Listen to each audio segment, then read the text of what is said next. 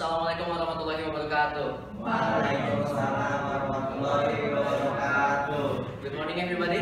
Morning. So today's presentation, we are from the sixth group.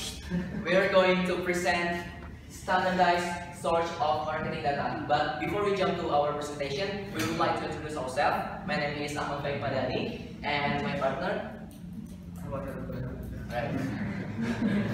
Alright. Uh, before we jump to the uh, main topic of this presentation, uh, let's see the overview over here.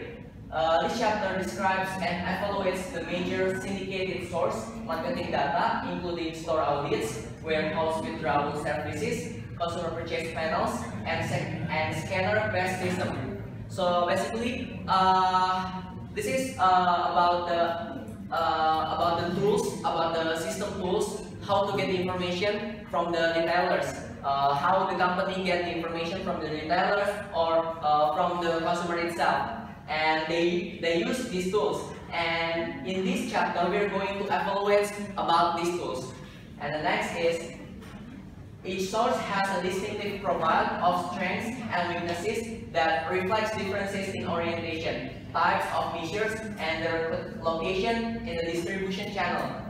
So as I told you just now, uh, we are going to evaluate them, and uh, so uh, we're gonna show you about their strengths and also their weaknesses.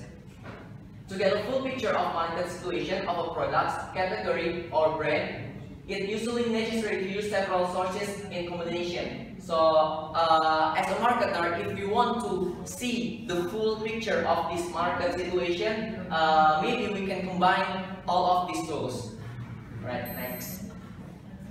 So, the first tools, we have retail store audits. Every two months, a team of auditors from a researcher firm visits a sample of stores to count the, the inventory on hand and record the deliveries to the store seen the last visit. So basically, in these tools, uh, we are as a company, we want to know, we want to get the information from the retailers. Uh, we ask for the third parties. These third parties, it is the research firm. So this research firm they send the auditors to the retailers to get the information what we want for our company. So what the auditors do, it is they are record the uh, beginning inventory and also the deliveries from uh, our company and then uh, also the sales of the period. So to compute the sales of the period, we can see over here the uh, pattern. Beginning inventory plus deliveries minus the ending inventory and equal to sales for the period. And this information uh, that recorded by these auditors will be uh, sent again back to the uh, company who it. And then uh, here is Nielsen Retail Index. So this is basically uh, about maybe uh, just now I showing we show you about the uh, auditors about the service audit and this is an uh, is actual example of the firm who run this audit who run this auditing so there is uh, AC Nielsen Corporation and also audits and provide auditing services and the data provided by these two companies are incredibly rich. So this is uh, one of the example uh, of the company who provide the data very rich rather than the other company who run in auditing. And Nielsen's auditing services cover four major reporting groups. The first is grocery products, and then drugs, and then other other merchandise, and then alcoholic beverages. Okay, maybe you can see over here the example of the uh, Nielsen company. Uh, we can see there is the sales, distribution, selling price, retailer. So this is the information that provided by the Nielsen company uh, that needed by uh, the company who needed. Right. And then uh, now is we move to the second tools. It is the consumer purchase panels. So consumer purchase panels, it is basically the consumer who are uh, who is being researched or who is being investigated by the company itself, not by uh, another parties or the auditor who uh, get the information, but we get the information directly from the consumer itself.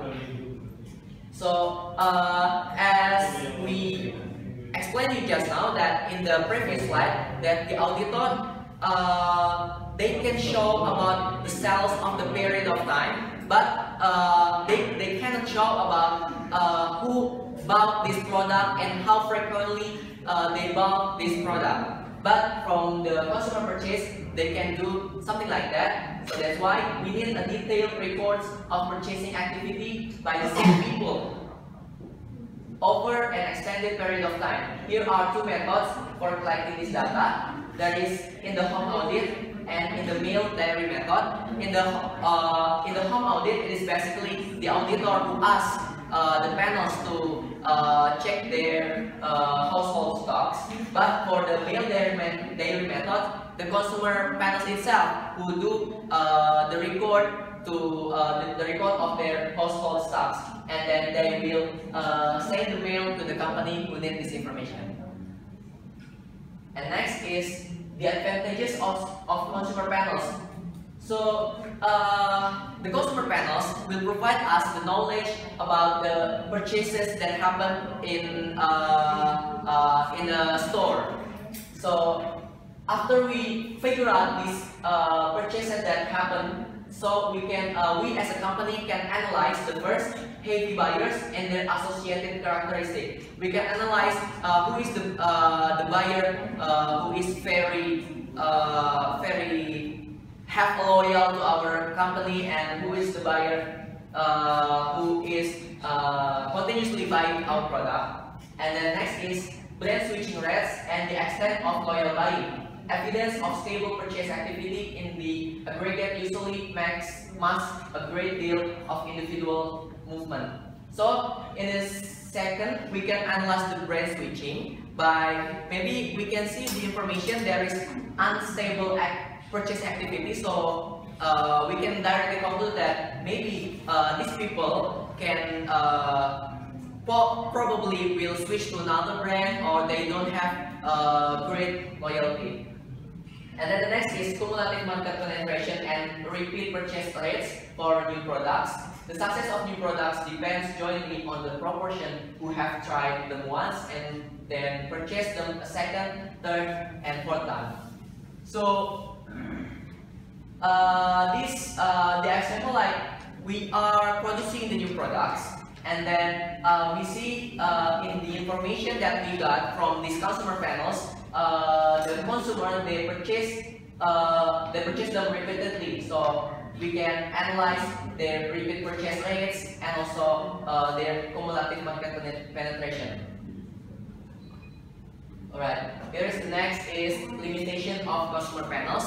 So this is limitation of consumer panels. It is basically about the vulnerability or uh, the weakness of the limitation of consumer panels itself. So the first is there is selection bias and then mortality effect. Selection bias it is actually because uh, consumer panels, uh, the one who is uh, being involved in this uh, consumer panels tools, it is the consumer itself. So sometimes the consumer will give the biased information. What is biased information? It is uh, when the consumer are tend to uh, give the information based on their uh, experience, not uh, objectively, but they give the information subjectively. And then it is mortality effect. It is when the consumer cannot give the uh, information. Maybe they have an ill, maybe they are sick, maybe they are another another reason that they cannot give the information to the company.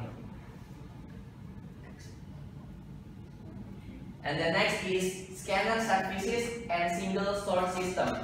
So for the scanner services, it is basically uh, the tools uh, to get the information from the uh, scanner scanner scanner machine. So maybe uh, in Beta, in supermarket, we already uh, know that there is this scanner, scanner machine like that uh, there is uh, scanner laser. So they use this scanner laser to get the information from the product. So basically, the product is equipped by the barcode, and this barcode will be read by the scanner laser. And uh, after the scanner laser read, read this uh, barcode, uh, they will uh, translate it into the information that needed by the com uh, company, and this information will be uh, directly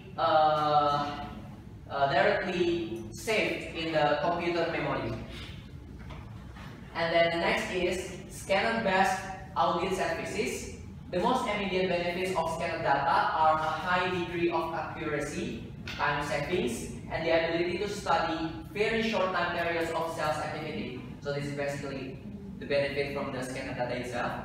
And then uh, for applying scanner data, scanner data are used mainly to study the behavior of the consumer when different elements of the marketing mix are varied. They are also used to study and forecast the sales of a new product. So if we do the, if we apply this scanner data, we can forecast uh, the sales that probably will be happen in the future. And now let's see uh, the comparison between the reports from the store audit service and also the reports from the uh, scanner data. Here we can see a report from the store audit service. They only give the report after two months. They're not giving the report uh, very rich, but maybe we can see in the next slide. Here is the result from the scanner service. They give the report every week and then we can see uh, the detailed uh, progress of the cells itself.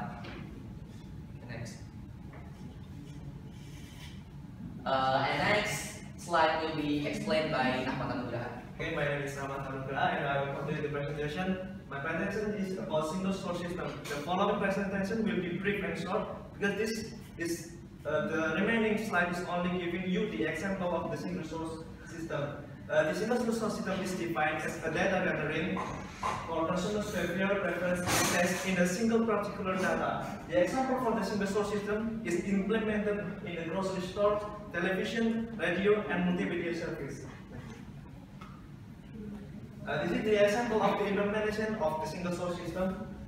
Uh, you can see in the top left there is uh, just like mentioned by Faiq that it uses scanner data and it's implement, implemented in grocery store and retail. It's like you scan the product which has a barcode and then the information will be saved in the in the server right here. And it also will be given, it will be uh, processed and will be uh, showing show up in the in the monitor. And this is the example of television. Uh, the television will use a Nielsen Rating Index and it will be set in the processor and will be shown in the monitor. Uh, this is the advantage and disadvantage of the single source system. The, the advantages is there are three advantages. The one is availability, availability of extensive pretest record because of uh, this this this system is continuously and will will will give you the record from the past, present, and will, will it will can uh, predict the future. And the second advantage is immediate result because it's it's machine. It's it will be automatically results will be given to you. And the third advantage is possible to compare purchase.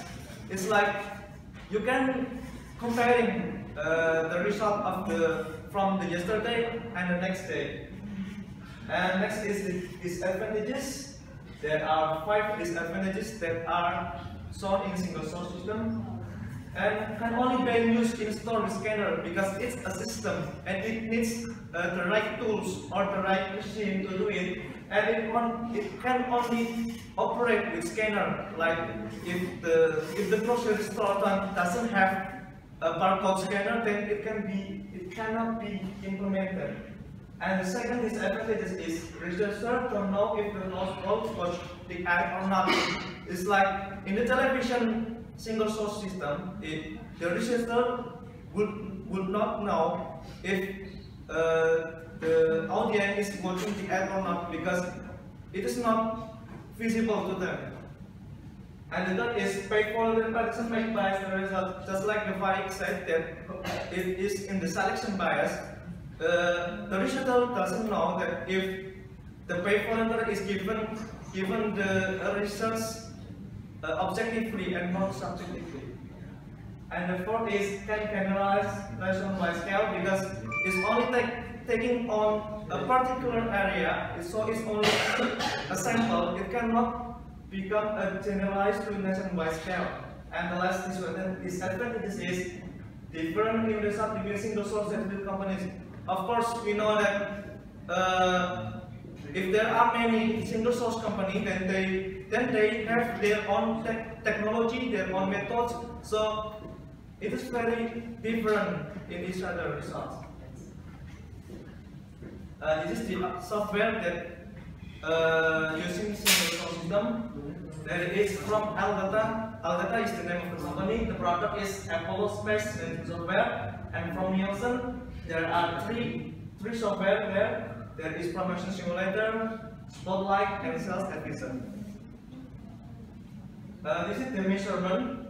In television, in single source system, it is widely known that Nielsen television indexes are being used using rating that records for program and also this watching. So uh, this Nielsen index rating will know if if you are watching a television or are you watching a program that has that has been selected. But it's not only Nielsen rating index. There is also more advanced methods which is smart. So this is the, the, the differentiation between smart and People-Meter. People-Meter is Nielsen television index. In smart television, it's more advanced. And like in the term of mechanics, smart using no wire connection, while while People-Meter or Nielsen television index are using wire directly to TV and VCR tuner.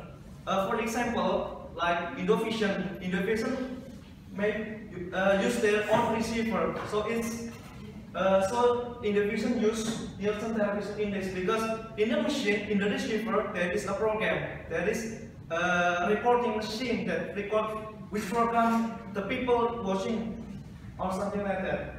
And but in smart, it's more advanced. It doesn't have, it doesn't need uh, a particular machine or something like that. Uh, this is the radio. In radio, they're using Arbitron index. In the print media, they use multimedia service and single media, well, and also Mediamark, media mark research. And in the printed media, we can also use the research uh, single source system research. There is task force. Uh, there are four methods there. The first one is non-reader. It defined as a person who does not remember having seen the ad. The second method is not a person who remembers seeing the advertisement. And the third is associated, a person who not only knows, but, but they also read all the ad. And read most is a person who read 50% of the ad. Uh, the application of standardized for sorting of data. Uh, so a single source system can be uh, can be used to one measuring product sales and market share, two measuring advertisement exposure and effectiveness, third measuring promotion effectiveness, and fourth is estimation of evaluation and models. Uh, so this is the example of the application. When you are want to measuring the promotion effectiveness, you can use scanner data or direct panels. When you want to measure it, uh, the exposure and effectiveness, you can use transports when you it is a printed media, NTI, Arbitron, or multimedia service, and etc. etc. You can see right here. Okay, thank you. That's all our presentation. Thank you for your attention. If there is any question, please just ask us. Time. Okay, thank you everyone for your attention. Assalamualaikum warahmatullahi wabarakatuh.